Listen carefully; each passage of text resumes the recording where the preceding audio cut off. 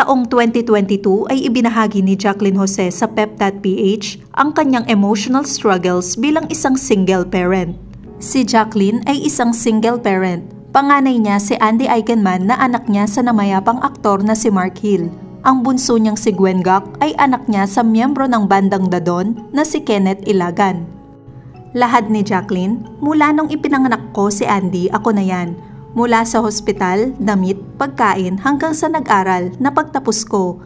Gayun din yung isa ko, sa kanya naman katuwang ko ang lola niya sa father side pero nawala ng maaga. Basically, ako lahat pero okay lang yon. Pero hindi pa rin naitago ni Jacqueline ang pangungulila ng isang ina sa punto ng kanyang buhay na malalaki na ang mga anak. Quote, hindi mo na-anticipate na someday mawawala sila. Matitira ka lang palang mag-isa. So parang hindi ko alam kung tama ba ang mga ginawa ko at the end of the road, na palagi akong wala pero pinupunan ko kasi ang mga pangangailangan nila. Kung hindi ako magtatrabaho, paano sila mag-aaral? Paano sila makakakain? Paano sila titira sa good environment na tinatawag? Hindi naman ako mayaman, pero kahit papaano, nasa maayos kaming lugar na hindi nagbabayad ng renta. Inayos ko talaga ang mga anak ko, hindi palipat-lipat ng bahay, Kumbaga, hindi ko inisip yung sarili ko. Sabi pa niya, quote, kahit mga kaibigan na pag-iwanan ako, kasi work, mga anak, work, mga anak, ang priority ko, parang ganyan, hanggang sa darating pala ang time na magiging mag-isa ka na lang. Sa ngayon, pinag-aaral ni Jacqueline ng kolehiyo sa Amerika ang bunsong anak na si Gwen. Si Andy ay may sariling pamilya at nakabase sa Siargao. Si Jacqueline ay solong namumuhay sa Metro Manila. Iniisip mo na madalas dumarating sa sarili mo na, bakit ko ba ginagawa ang lahat ng to? Aalis akong mag-isa, babalik akong mag-isa. Kung wala akong trabaho, mag-isa lang din ako sa bahay. Kasi nga, napag-iwanan na ako ng panahon. Wala na rin nanligaw sa akin. Naging busy ako. Yung grupo na rin ng mga kaibigan natin, hindi na rin makakatch up kasi malayo na ang napuntahan nila, di ba? At the end of the road, you feel all alone. Mahirap, mahirap pala. Sabay sabi niya, kaya ako, tingin ko, tama ang ginagawa ni Andy sa pamilya niya. Ang tinutukoy ni Jacqueline ay ang piniling pamumuhay ng anak na si Andy sa probinsya. Halos tinalikuran muna nito ang pag-arte at naging hands-on mom sa tatlong anak na sina Ellie, Lilo at Koa. Aminado si Jacqueline na bilang isang working mother ay hindi niya nasubaybayan ng gusto ang paglaki ng anak na si Andy. Quote, hindi niya na-experience, nakita niya na lumaki siyang mag-isa alam nyo naman, ang trabaho dati, 27 hours a day.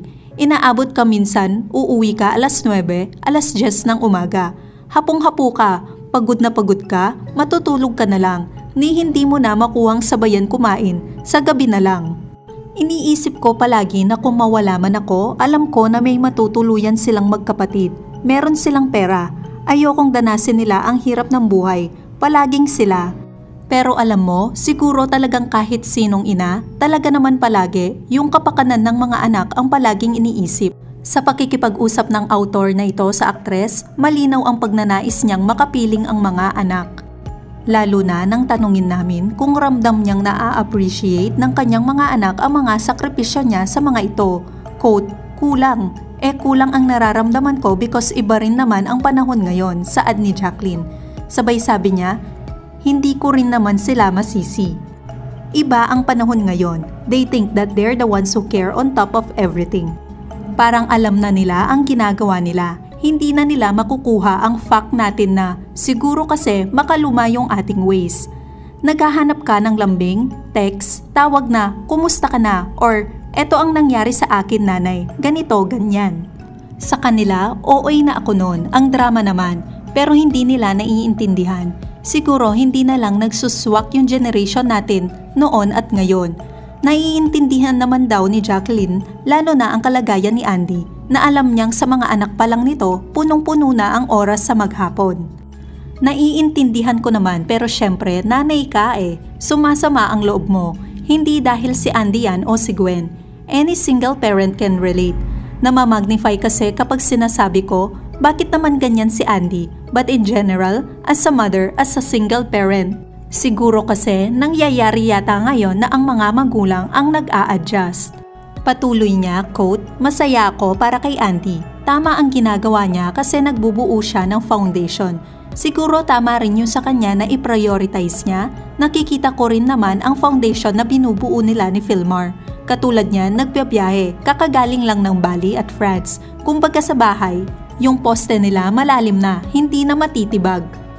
Tinanong ng pep.ph si Jacqueline kung may regret siya sa kung paano niya pinalaki ang dalawang anak. Meron din pag-amin niya. Paliwanag ng aktres kasi dapat siguro nag-ano rin ako ng kamay na bakal. Kasi masyado akong lenient, eh masyado akong maluwag. Tingnan nyo, napuntis si Andy ng maaga. Wala namang problema sa akin yan. Mahal na mahal ko si Ellie. Ibig kong sabihin, walang narinig sa akin yan. Itong anak kong lalaki, nagdesisyong mag-aral sa Amerika kasi nandun yung girlfriend.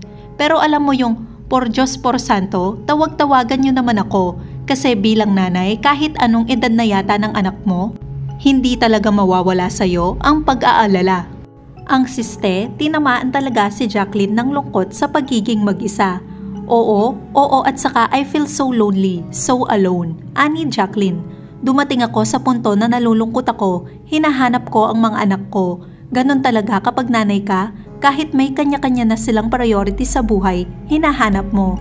Eh hindi ka naman kinukumusta? Ganon siguro.